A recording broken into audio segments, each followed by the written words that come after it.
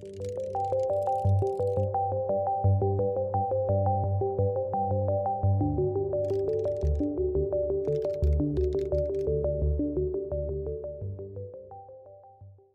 everybody, welcome back to another Astronomy and Python video. Today I want to go through the last challenge, uh, which you can find the code for now in uh, the code directory here on my GitHub. So if we go into code, and the last challenge was all about tides, so C004 tides. And you can see here the challenge, which was for the winter of 2020-2021. Earth has one moon, Mars two, and Tatooine three. If Mars and Tatooine had oceans of water on them, what would the tides be like? Start by simulating the tides of the Earth moon system, then move on to Mars. If you want to have a, a stretch task, then move on to the three moons of uh, Tatooine, and you'll have to make up some values for those moons. So I didn't actually get around to doing Tatooine, but I have done the um, Earth and moon system, and I have also done uh, Mars and its two moons. So I'm going to show you my code to work out the tidal acceleration at certain points around the surface of both Earth and Mars. Okay, so I've just zoomed in a bit so you can see this figure a bit better. This is sort of the end result of my code. So you can see there are arrows showing the direction and the magnitude of the tidal accelerations around points on the surface of the Earth. And the moon in uh, this case is actually all the way to the right. Okay, so at zero degrees along the x-axis. So this is what we're going to end up with, and I'll show you the code to plot our results as well at the end. But before we actually look at the code, we need to go through some of the maths about how we actually calculate uh, tidal accelerations. So I'm going to show you some figures that I made to help me solve this challenge, and they're all in this code directory as well, so you can have a look at them. Most of them are on the README, there is one with some more complicated maths, uh, which is a whiteboard image in the working directory. It does have some mistakes on it, but that was just for me to add that little bit extra into the code. So you see that later. I'll explain that in a bit more. So in the first image here, we have the moon as the grey circle on the right, and the blue circle is the surface of the Earth. So you can see we have a point right in the center, and that has an arrow pointing towards the Earth labeled FC. That's the gravitational attraction due to the moon at the center of the Earth. Then there are two points, and these lie on the same plane through the center of the Earth to the moon, P1 and P2. Okay, so opposite sides of the Earth on the surface. And here, the, if we want to work out the tidal force, that's just the force at that point minus the force at the center of the Earth. So you can see for point P1 on the right, that the tidal force, the little blue arrow, is Fp1 minus Fc. So the force at the point on the surface minus the force at the center. So because the force at point 1 is greater than the force at the center, this tidal force is positive, so it's pointing towards the moon. Whereas for point P2, the force, the, grav the gravitational attraction, Fp2, is actually less than the force at the center of the Earth because it's further away, ever so slightly. So the tidal force at point P2 is actually pointing in the negative direction, so away from the moon. Okay, so this example is very simple with all of the points along the same um, axis, so going all, all along x equals 0. The picture I'm going to show you now helps to generalize this to any point along the uh, surface of the Earth at an angle theta away from this grey line, this axis. So here you can see I've labelled the distance from the centre of the Earth to the Moon as capital R. The radius of the Earth is little r. And then I've got a point which is um, some angle away from this axis on the surface of the Earth, labelled P. And then that force Fp is pointing towards the Moon. The distance from the point on the surface to the Moon is c. We'll need that to calculate Fp, the force at that point. And I've also labeled this angle alpha because as part of our code, we'll want to split up our tidal force or tidal acceleration into the horizontal or vertical components. This next image is the same as the previous one, just with some of the maths at the bottom. So we have first the formula for the gravitational attraction at the center of the Earth. So Fc is capital G, the gravitational constant, times by capital M, the mass of the Earth, times by little m, which is going to be the mass of the moon, uh, divided by big R squared, so the distance between the center and the moon squared. So the force at the point is the same apart from the denominator contains now c squared instead of the distance capital R. Then using some trig, we can actually work out what the distance c is, okay, and that will go into our equation for fp. I've also got an equation for the sine of alpha using some trigonometry there as well, because in the next line you can see we actually use alpha, sine of alpha and cosine of alpha to split the force up into its horizontal and vertical component. Okay, then lastly here, what I've calculated is actually the tidal acceleration, which is normally how we uh, sort of quantify the effect of the tides on the surface instead of quoting a force. So the first thing I've done is actually calculate the force. So Fp horizontal, so the horizontal component at that point P, minus Fc. And if I divide that by the mass uh, from Newton's second law, we get the acceleration in the horizontal direction. And then notice that there is no vertical component of Fc, so we don't actually need to take anything away from the vertical component of Fp.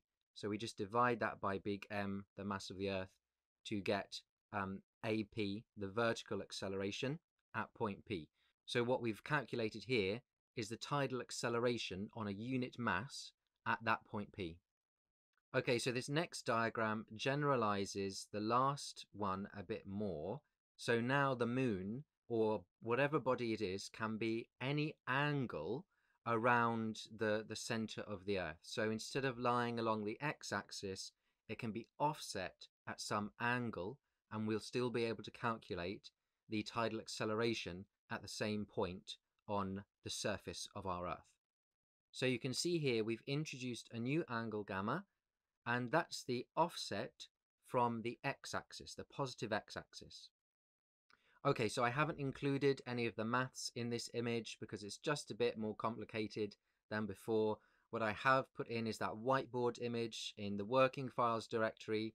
By all means, have a go look at that and see if you can work your way through the logic of um, accounting for this extra offset in the position of the moon.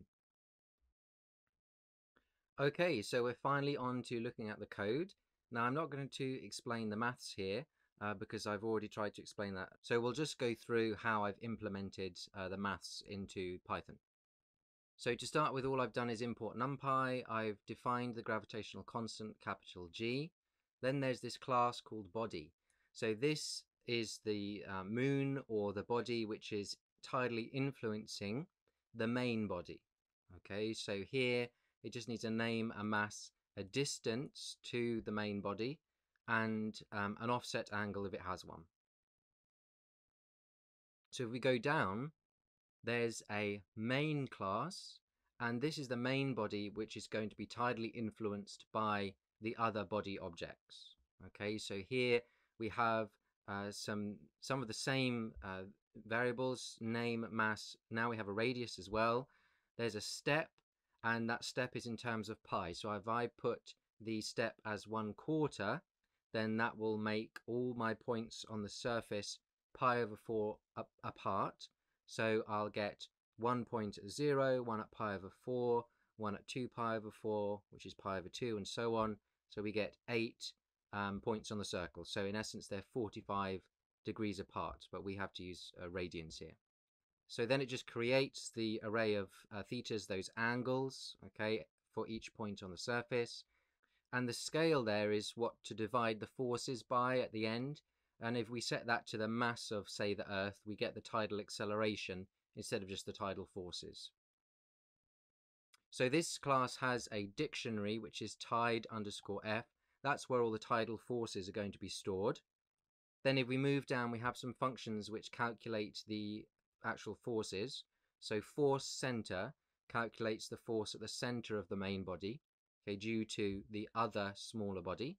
So this calculates it for one other body at a time. So um, say we have the Earth and the Moon and the Sun, we'd first just calculate the interactions between the Earth and the Moon. Then we'd calculate the interactions between the Earth and the Sun. and we'd sort of add them together. So this would be called twice in that case, once for the moon and once for the sun. So here, force underscore center, that calculates the gravitational attraction at the center of the main body due to the other body in the system. So force underscore points, this next function, calculates the gravitational attraction at each point on the surface, uh, and that's of the surface of the main body due to the other body. Okay, so say it's the Earth, so the gravitational attraction on the, each point of the surface of the Earth due to the Moon. Okay, so here all it needs is um, all it needs is the body class object, and it will return these two arrays. So the force in the horizontal direction, and then the force in the vertical direction. So the horizontal and vertical components of the gravitational attraction. So the only bit here that I didn't explain earlier is this um, where, where I've put fixing the sign of our vectors. And um, that's to do with the fact that if I if I've calculated that um, angle vita from the diagram with the moon offset, I'll put it up here hopefully again so you can have a, a look at it. If I take the arc sine of sine of vita, then I actually lose some information about which quadrant of the circle it's in, because obviously a circle repeats itself once you go around 2 pi and then 4 pi and whatnot. So uh, we have to put sort of the signs back in. So here I've just tried to compute what the sign would be, should be, and then times the new signs by the absolute values of the force that we've we've just calculated. And I've got a little image of, of how I um, how I worked out what the sign should be here. So you can see I've highlighted some quadrants in Peach, and those quadrants relate to uh, a, a very specific condition, which is that the distance to, in this case, the moon, times by either the cosine or sine of the angle is less than the radius. Okay, and that means they're in one of the peach boxes. Okay, now you can see that every time we move in and out of a peach box, the horizontal and vertical components of the gravitational acceleration of the tidal acceleration change. So the horizontal components of the gravitational tidal acceleration, that's the light green, and the dark green is the vertical component of the tidal or gravitational acceleration. So hopefully when you're looking at this code, you might find a more elegant way of, of um, preserving the signs or, or figuring this out. I couldn't come up with one um, in the time that I spent on it. So it'd be interesting to see uh, what you guys come up with. Okay, so if we go back to the code and move down to uh, the function called forces, this pulls together all of the previous functions and calculates these tidal forces, or if our scale is the mass of the Earth, it will calculate the tidal accelerations for us. So here it just calculates the force at the center of the body, the force at all the points. It calculates the tidal forces away the component of the central force in the horizontal or the vertical direction. There is a cut here. I just introduced that um, to set certain values to zero um, when I know they should be. In certain cases, that was just for testing, so I've left it at zero here. And then it returns these values in a list. So it returns a list with the force at the center, then the horizontal component of the forces, the difference, so that third um, so that third entry in the list at index 2, that's the tidal force in the horizontal component of it. Then the fourth entry in the list are the vertical components of the gravitational attraction, and the last element of the list are the vertical tidal forces. So then we come to the last two functions. The first one is update underscore tides, and this just updates the tidal force values in the dictionary tide underscore f, which was created earlier. Okay, um, this should not be called independently. This is called by the function below, which I'll just show you quickly now, which is tides. This is the main function you call when you want to calculate the tides on the main body due to all the other bodies that you pass as arguments. So you see here you can pass any number of bodies as arguments. So here it will just get all of the body names and join them together as a string. That string then becomes the key of the dictionary tide underscore f. That's where we're going to store all of our tidal forces. And what all of this does is it tries to look and see if we've already calculated some previous values. So say if we're doing the moon and the sun, well, if we've already calculated some values for the moon, let's reuse those if they're for the same offset angle instead of having to recalculate them. Okay, so that's what this uh, big for loop is trying to do. See if we've already calculated some of those values. Okay, it's not particularly clever though. If I do the moon first and then put in the moon and the sun, it will use the moon values calculated previously. But if I swap the sun around, it will calculate the sun first and then it won't use the previous values. So, you know, there's a bit more that could could be done here. Okay, so then how do we use this code? So here I've got the scale to be the mass of the Earth so that I get um, tidal acceleration out. I've got the offset of the moon as zero. I can create or initialize the Earth and the moon like so. So the Earth is the main body, the moon is the, the smaller, so the tidally influencing body. And then we have, uh, we just need to call earth.tides and then put the moon body object inside the function call and that will give us our forces. So let's have a go at running this, see what we get. So Python and then tides. So you can see it returned that list to us of those five components. So the force at the center of the Earth, the horizontal component of the gravitational attraction at each point, the horizontal component of the tidal force at each point. And actually, sorry, because we use the scale as the mass of the Earth, these are accelerations. Okay, so I should have said that this is the horizontal component of the tidal acceleration.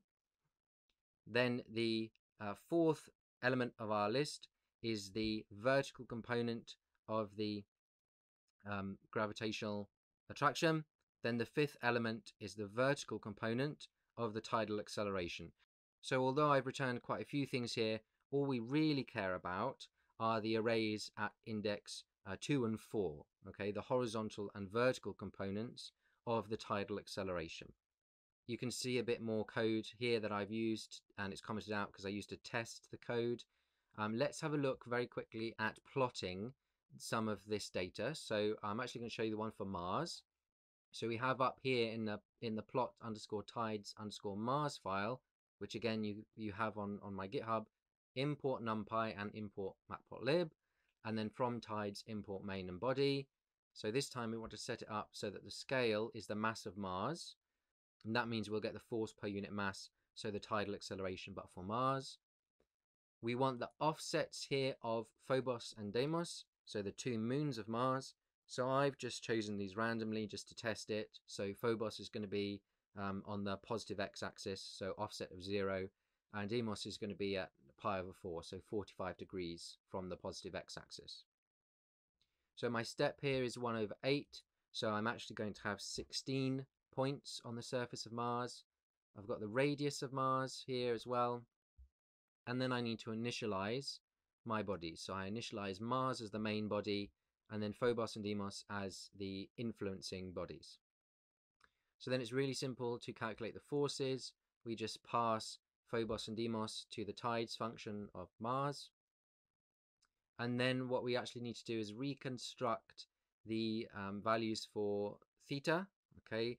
And uh, we I use those to get the x and y positions of the points uh, on the surface, but around a unit circle.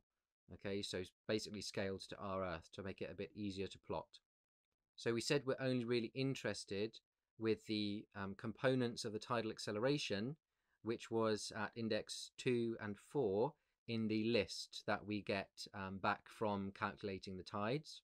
So here we're just getting the uh, horizontal component u, which is the second um, at index 2, and then the vertical component, which is at index 4 from our forces. Then we initialize our plot, our figure. I've plotted a circle for the planet, so for Mars, and it's it's red.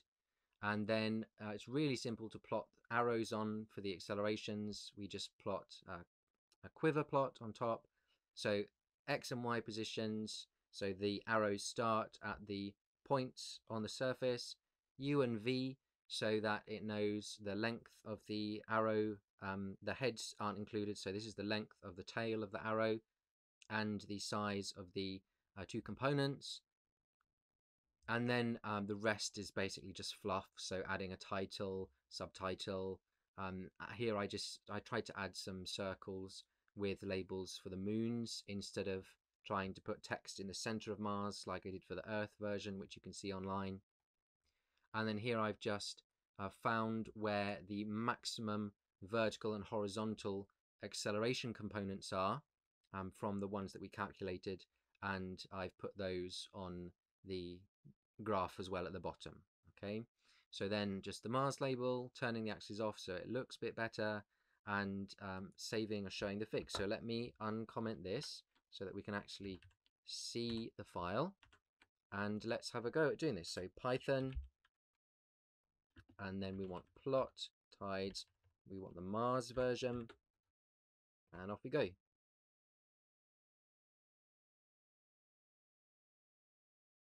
So you can see here that uh, we've got our nice plot out. So the tidal acceleration from Phobos at 0 degrees and Deimos at 45 degrees.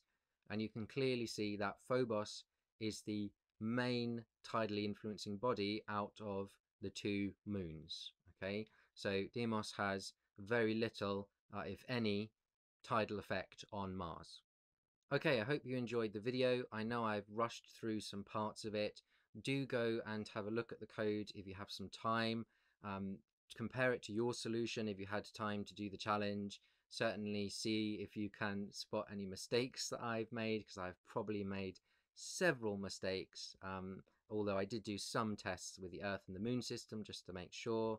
Okay, and then be sure to check out the next challenge, which is already on uh, my website and on GitHub. So let me just show you that which is C005 Mars launch windows. So for the spring of 2021, calculate possible launch windows to Mars using a Hohmann orbit. So this is sort of in celebration of um, the, the wondrous Perseverance rover and the Mars 2020 uh, project. So as always, keep coding and see you next time.